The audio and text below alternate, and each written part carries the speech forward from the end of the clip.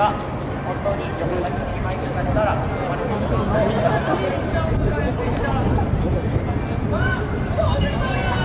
ついに D ポイントが全国大今めっちゃ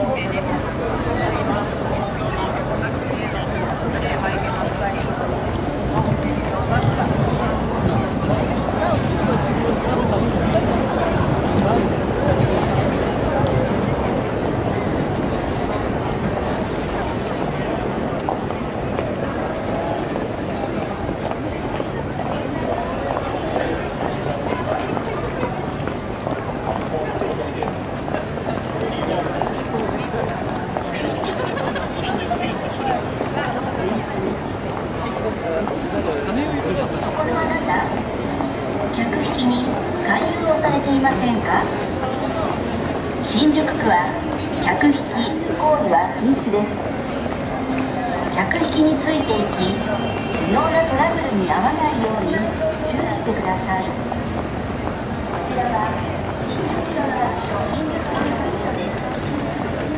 新宿区は路上での客引き勧誘行為は禁止です。客引きについていき路上で交渉した料金と実際に払う料金が違うなどのトラブルが発生しています。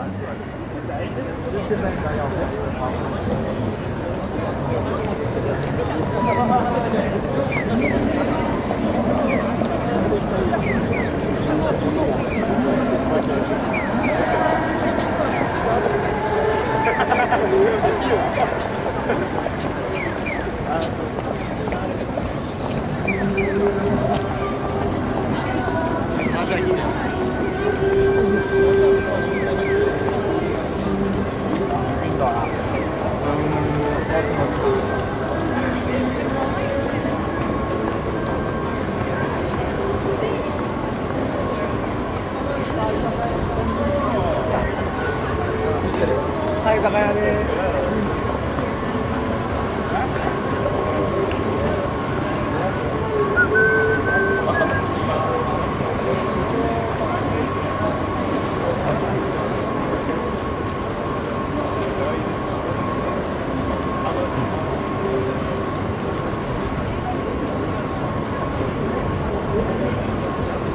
頭入って